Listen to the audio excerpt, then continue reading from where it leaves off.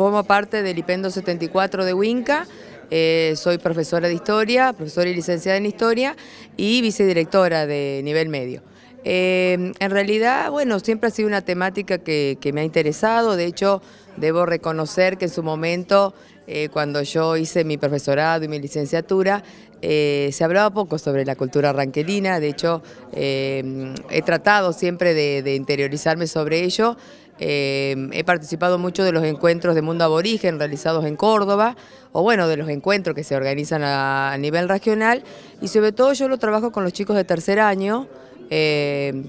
por la currícula, pero a su vez también eh, hablamos de todas las culturas en general, pero bueno, sobre todo de la región nuestra, ¿no? Así que bueno, realmente es muy grato y aparte, bueno, realmente venir a escuchar gente que está trabajando en el tema de la universidad de la cual yo también estudié, eh, es algo que me alegra y que bueno, eh, yo recién cuando preguntaba sobre todo el tema de arqueológicamente que se está trabajando, porque bueno, a veces eso es uno de los, a veces me parece los problemas, es que a veces eh, no nos llegan muchos de los trabajos de las universidades,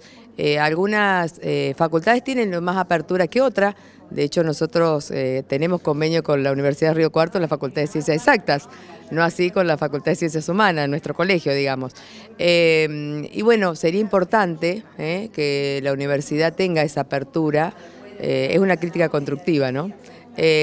hacia nosotros, los profes, porque me parece que es una forma de difundir. En la actividad estuvieron participando, están participando eh, integrantes de las comunidades ranqueles. Eh, ¿Cómo contribuye ese intercambio de registros a la formación docente?